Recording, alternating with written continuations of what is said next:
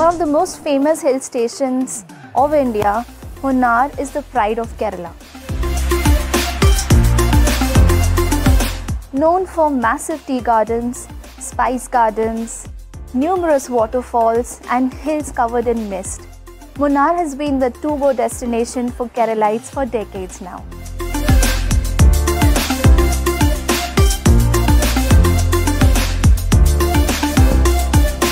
Right now, sitting here at Elixir Hills, Suits Resort and Spa, spread across 100 acres, I have a splendid view of the forest ahead of me. Just at a stone's throw away is a beautiful waterfall followed by a stream, which we shall explore in a bit.